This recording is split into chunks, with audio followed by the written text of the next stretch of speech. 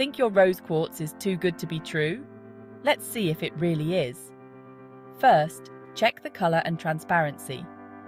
Real rose quartz has a soft, pale pink hue with some cloudiness. Fake ones, they're often unnaturally vibrant and too perfect. Next, the hardness test. Real rose quartz scratches glass but won't be scratched by metal. If it's easily scratched, it's likely a fake. Feel the temperature. Real rose quartz is cool to the touch and warms slowly. Fake ones, like glass or plastic, warm up fast. Look for imperfections. Real stones have tiny inclusions or cracks. Fakes are usually flawless. Check the price. Real rose quartz can be pricey. Too cheap? Probably a fake. Lastly, the bubble test for glass fakes.